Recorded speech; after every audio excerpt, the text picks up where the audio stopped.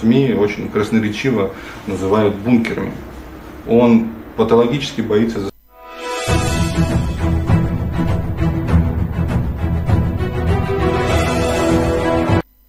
他称普京病态的害怕生命安全，避开大飞机，喜欢乘特殊的装甲列车出行。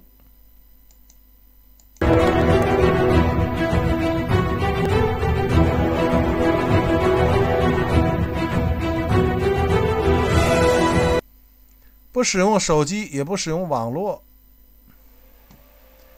一直生活在一个叫做堡垒的 住所。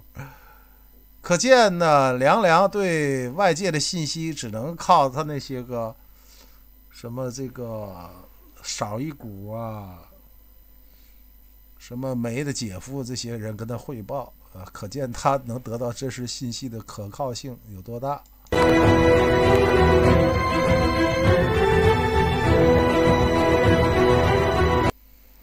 相当害怕被暗杀，啊，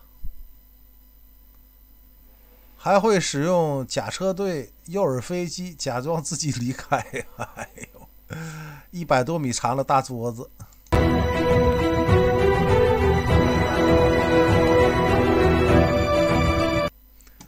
那么这个问题呢，他们官方也回应了啊。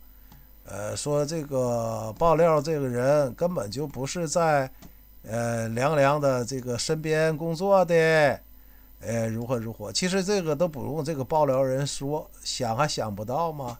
是吧？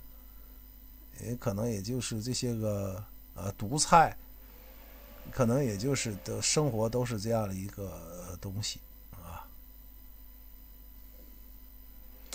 可是他自己说呢，他是这个联邦俄罗斯联邦警卫局的上尉，十三年陪同这个呃梁梁出行有一百八十多次，嗯，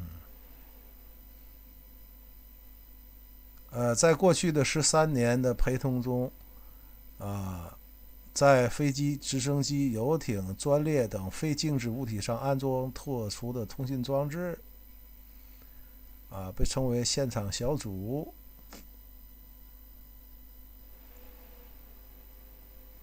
十月十四日，在出差的最后一天，呃，卡夫卡拉夫洛夫这个人叫卡拉夫洛夫，装病，没有和同事一起去搞买纪念品，而是偷偷带着妻子和女儿登上了飞往伊斯坦布尔的航班，就土耳其了。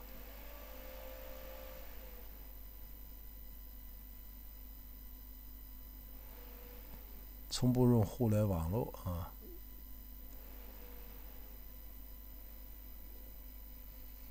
这里公布了他一个工作证啊，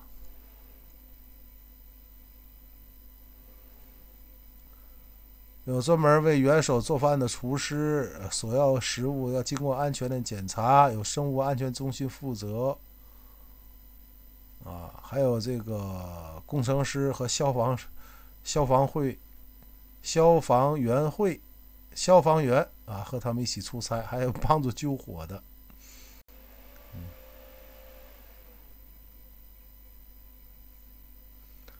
出行也得有这个几几几个专列